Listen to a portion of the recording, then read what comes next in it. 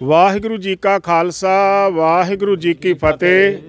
ਭਾਰਤੀ ਹਕੂਮਤ ਵੱਲੋਂ ਕਿਸਾਨ ਮਜ਼ਦੂਰਾਂ ਦੇ ਸੰਬੰਧ ਵਿੱਚ ਬਣਾਏ ਗਏ ਕਾਲੇ ਕਾਨੂੰਨ, ਜਿਨ੍ਹਾਂ ਕਾਲੇ ਕਾਨੂੰਨਾਂ ਦੀ ਬਾਬਤ ਰੋਜ਼ ਦੀ ਰੋਜ਼, ਦਿਨ ਦਿਹਾੜੇ ਜਿਹੜਾ ਵਿਦਰੋਹ ਹੈ, ਸਮੁੱਚੇ ਮੁਲਕ ਵਿੱਚ ਹੀ ਨਹੀਂ, ਵਿਦੇਸ਼ਾਂ ਦੇ ਵਿੱਚ ਵੀ ਵੱਧ ਰਿਹਾ ਹੈ।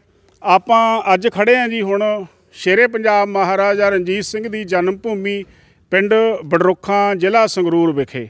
ਵੈਸੇ ਮਾਲਵੇ ਖਿੱਤੇ ਦੇ ਵਿੱਚ ਸਭ ਤੋਂ ਵੱਧ ਵਿਦਰੋਹ ਹੈ ਜਿਹੜਾ, ਇਹ ਮਾਲਵੇ ਖਿੱਤੇ ਵਿੱਚੋਂ ਸ਼ੁਰੂ ਹੋ ਕੇ ਪੂਰੇ ਪੰਜਾਬ ਵਿੱਚ ਫੈਲਿਆ ਔਰ ਪੰਜਾਬ ਤੋਂ ਸ਼ੁਰੂ ਹੋ ਕੇ ਫਿਰ ਹਰਿਆਣੇ ਵਿੱਚ ਫੈਲਿਆ, ਹਰਿਆਣਾ ਵੀ ਨਾਲ ਮਿਲ ਗਿਆ, ਫਿਰ ਰਾਜਸਥਾਨ, ਹਿਮਾਚਲ, ਉੱਤਰਾਂਚਲ ਯੂਪੀ ਔਰ ਇੱਥੋਂ ਤੱਕ ਸਾਊਥ ਇੰਡੀਆ ਤੋਂ ਵੀ ਜਿਹੜਾ ਕਿਸਾਨ ਹੈ, ਪੂਰੇ ਮੁਲਕ ਦੇ ਵਿੱਚ ਜਾਗ ਪਿਆ ਹੈ। ਬੇਸ਼ੱਕ ਅੱਜ ਸਾਡੇ ਪੰਜਾਬ ਦੇ ਜਾਏ ਲੋਕ ਬਹੁਤ ਵਿਦੇਸ਼ਾਂ ਵਿੱਚ ਬੈਠੇ ਨੇ, ਜਿਹੜੇ ਦਿਨ ਰਾਤ ਇੱਕ ਕਰਕੇ ਵਿਦੇਸ਼ਾਂ ਦੇ ਵਿੱਚ ਜਿਹੜੀਆਂ ਭਾਰਤ ਦੀਆਂ ਐਮਬੈਸੀਆਂ ਬਣੀਆਂ ਹੋਈਆਂ ਨੇ, ਉਹਨਾਂ ਦੇ ਅੱਗੇ ਹੋ ਕੇ ਉੱਥੇ ਪ੍ਰੋਟੈਸਟ ਕਰ ਰਹੇ ਨੇ।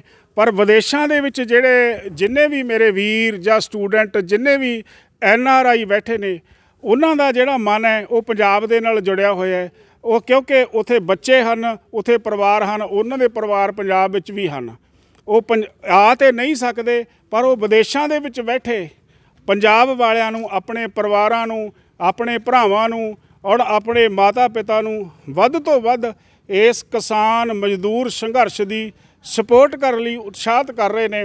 ਅੱਜ ਸਾਨੂੰ ਬੜਾ ਮਾਣ ਹੈ ਕਿ ਪਿੰਡ ਬਡਰੋਖਾਂ ਦੇ ਜੰਪਲ ਲਕਸ਼ਮਣ ਸ਼ਰਮਾ ਜੀ, ਇਸ ਪਿੰਡ ਦੇ ਨੌਜਵਾਨ ਨੇ ਜਿਹੜੇ ਕਿ ਲੁਧਿਆਣੇ ਦੇ ਵਿੱਚ, ਲੁਧਿਆਣੇ ਜ਼ਿਲ੍ਹੇ ਦੇ ਵਿੱਚ ਜੀ ਕੇ ਵਿਹਾਰ ਜਿਹੜੀ ਕਲੋਨੀ ਹੈ, ਉੱਥੇ ਦੇ ਸਰਪੰਚ ਨੇ ਮੌਜੂਦਾ ਔਰ ਇਹਨਾਂ ਲਵੇ ਵਿਦੇਸ਼ਾਂ ਦੇ ਵਿੱਚੋਂ ਸਨੇਹ ਵੀ ਆਏ ਭੈਣ ਬੀਬਾ ਪਰਮਜੀਤ ਕੌਰ ਕੈਨੇਡਾ ਤੋਂ ਔਰ ਉਹਨਾਂ ਨੇ ਇੱਥੋਂ ਤੱਕ ਲਕਸ਼ਣ ਸ਼ਰਮਾ ਜੀ ਨੂੰ ਇੱਥੋਂ ਤੱਕ ਵੀ ਆਗਿਆ ਦੇ ਦਿੱਤੀ ਸੀ ਕਿ ਜੀ ਕੇ ਵਿਹਾਰ ਦੇ ਵਿੱਚੋਂ ਜੋ ਵੀ ਲੋਕ ਇਸ ਅੰਦੋਲਨ ਦੇ ਵਿੱਚ ਜਾਣਾ ਚਾਹੁੰਦੇ ਨੇ, ਉਹਨਾਂ ਦੇ ਵਿੱਚ ਜਿਹੜਾ ਗੱਡੀਆਂ ਦੇ ਵਿੱਚ ਤੇਲ ਹੈ, ਜਿਹੜਾ ਖਰਚਾ ਹੈ ਜਾਂ ਉਹ ਸਾਡੇ ਵੱਲੋਂ ਵਿਦੇਸ਼ੀ ਭਰਾਵਾਂ ਵੱਲੋਂ ਕੀਤਾ ਜਾਏਗਾ ਔਰ ਭੈਣ ਪਰਮਜੀਤ ਕੌਰ ਉਹਨਾਂ ਵੱਲੋਂ ਕੀਤਾ ਜਾਏਗਾ। ਪਰ ਜੀ ਕੇ ਬਿਹਾਰ ਦੇ ਵਿੱਚ ਕਿਉਂਕਿ ਉੱਥੇ ਸ਼ਹਿਰੀ ਲੋਕ ਜਾਂ ਮੁਲਾਜ਼ਮ ਲੋਕ, ਉਥੋਂ ਇਹਨਾਂ ਨੂੰ ਸ਼ਰਮਾ ਜੀ ਇਹਨਾਂ ਰਿਸਪੌਂਸ ਨਹੀਂ ਮਿਲਿਆ। ਅੱਜ ਇਹ ਪਿੰਡ ਬਡਰੁੱਖਾਂ ਦੇ ਵਿੱਚ ਆਏ ਹੋਏ ਨੇ, ਕਿਉਂਕਿ ਬਡਰੁੱਖਾਂ ਦੇ ਵਿੱਚ ਇਤਿਹਾਸਕ ਪਿੰਡ ਹੈ, ਵੱਡਾ ਪਿੰਡ ਹੈ। ਤਕਰੀਬਨ 10000 ਵੋਟ ਵਾਲਾ ਪਿੰਡ ਹੈ। ਇਤਿਹਾਸਕ ਪਿੰਡ ਹੋਣ ਦੇ ਨਾਤੇ ਇਥੋਂ ਸੈਂਕੜੇ ਹੀ ਕਿਸਾਨ, ਮਜ਼ਦੂਰ, ਮੁਲਾਜ਼ਮ ਜਿਹੜੇ ਦਿੱਲੀ ਵਿੱਚ ਬੈਠੇ ਨੇ, ਸੈਂਕੜੇ ਹੀ ਇਸ ਪਿੰਡ ਕੱਲੇ ਪਿੰਡ ਦੇ ਵਿੱਚੋਂ। ਔਰ ਰੋਜ਼ਾਨਾ ਆਉਂਦੇ ਨੇ, ਜਾਂਦੇ ਨੇ, ਦਿੱਲੀ ਆਉਂਦੇ ਨੇ। ਅੱਜ ਸ਼ਰਮਾ ਜੀ ਇੱਥੇ ਬਡਰੁੱਖਾਂ ਪਿੰਡ ਆਏ ਸੀ। ਜਦੋਂ ਇਹਨਾਂ ਨੇ ਆ ਕੇ ਇੱਥੇ ਔਰ ਪਰਮਜੀਤ ਕੌਰ ਜੋ ਕੈਨੇਡਾ ਤੋਂ ਨੇ ਉਹਨਾਂ ਦੀ ਬਾਬਤ ਇੱਥੇ ਦੱਸਿਆ ਤਾਂ ਇਹ ਬੜੇ ਨੌਜਵਾਨ ਜਿੰਨੇ ਖੜੇ ਹੈਗੇ ਇਹ ਸਾਰੇ ਇਹਨਾਂ ਨੇ ਅੱਜ ਦਿੱਲੀ ਜਾਣ ਦਾ ਪ੍ਰੋਗਰਾਮ ਪਿੱਛੇ ਟੈਂਪੂ ਹੈ ਹੁਣ ਤਿਆਰੀ ਹੈ। ਰਾਤ ਨੂੰ ਇਹਨਾਂ ਨੇ ਦਿੱਲੀ ਨੂੰ ਜਾਣਾ ਔਰ ਅਸੀਂ ਇੱਥੋਂ ਦੀ ਪੰਚਾਇਤ ਵੱਲੋਂ ਬਡਰੁੱਖਾਂ ਦੀ ਪੰਚਾਇਤ ਵੱਲੋਂ ਵੀ ਇਹ ਇਹਨਾਂ ਦਾ ਧੰਨਵਾਦ ਕੀਤਾ ਸ਼ਰਮਾ ਜੀ ਜਿਹੜੇ ਕਿ ਬਤੌਰ ਸਰਪੰਚ ਨੇ ਜੀ ਕੇ ਬਿਹਾਰ ਦੇ ਵਿੱਚ ਅੱਜ ਬਡਰੁੱਖਾਂ ਦੇ ਵਿੱਚੋਂ ਬੜੇ ਨੌਜਵਾਨ ਨੇ ਜਿਹੜੇ ਔਰ ਹੈ ਨਹੀਂ ਔਰ ਮਾਤਾਵਾਂ ਦਾ, ਮਾਤਾਵਾਂ ਵੀ ਜਾ ਰਹੀਆਂ ਹਨ ਔਰ ਨੌਜਵਾਨ ਵੀ ਜਾ ਰਹੇ ਨੇ, ਜਿਹੜੇ ਕਈ ਦਿਨ ਉੱਥੇ ਰੁਕਣਗੇ। ਇਸੇ ਤਰ੍ਹਾਂ ਜਿਹੜੀਆਂ ਸੰਗਤਾਂ ਇਸ ਸੰਘਰਸ਼ ਦੇ ਵਿੱਚ ਆਉਂਦੀਆਂ ਜਾਂਦੀਆਂ ਰਹਿਣਗੀਆਂ, ਅਸੀਂ ਧੰਨਵਾਦ ਕਰਦੇ ਹਾਂ ਲਕਸ਼ਮਣ ਸ਼ਰਮਾ ਜੀ ਦਾ, ਜਿਹੜੇ ਕਿ ਸਰਪੰਚ ਨੇ ਜੀ ਕੇ ਵਿਹਾਰ ਕਲੋਨੀ ਲੁਧਿਆਣਾ ਦੇ। ਬੇਸ਼ੱਕ ਇਹਨਾਂ ਨੂੰ ਉੱਥੋਂ ਥੋੜਾ ਜਿਹਾ ਰਿਸਪੌਂਸ ਘੱਟ ਮਿਲਿਆ, ਪਰ ਅੱਜ ਪਿੰਡ ਦੇ ਵਿੱਚ ਇੱਥੇ ਸੈਂਕੜੇ ਨੌਜਵਾਨ ਦਿੱਲੀ ਜਾਣ ਲਈ ਤਿਆਰ ਨੇ। ਕਈ ਇਹੋ ਜਿਹੇ ਵੀ ਪਰਿਵਾਰ ਹੁੰਦੇ ਨੇ, ਜਿਨ੍ਹਾਂ ਦਾ ਮਨ ਕਰਦਾ ਹੁੰਦਾ ਕਿ ਅਸੀਂ ਦਿੱਲੀ ਜਾਈਏ।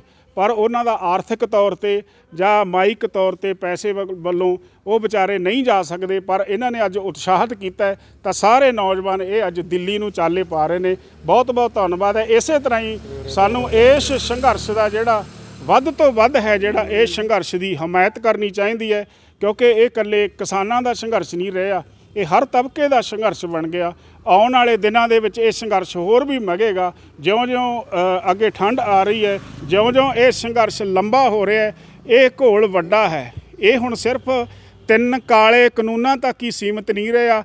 ਇਹ ਪੰਜਾਬ ਦੀ ਹੋਂਦ ਦੀ ਗੱਲ ਹੈ, ਸਾਡੇ ਪੰਜਾਬੀਆਂ ਦੀ ਹੋਂਦ ਦੀ ਗੱਲ ਹੈ, ਸਾਡੇ ਆਉਣ ਵਾਲੀਆਂ ਨਸਲਾਂ, ਪੀੜ੍ਹੀਆਂ, ਬੱਚਿਆਂ ਦੀ ਹੋਂਦ ਦੀ ਗੱਲ ਹੈ। ਇਹ ਸੰਘਰਸ਼ ਹੋਰ ਅੱਗੇ ਦਿਨਾਂ ਦੇ ਵਿੱਚ ਤਿੱਖਾ ਹੋ ਜਾਏਗਾ।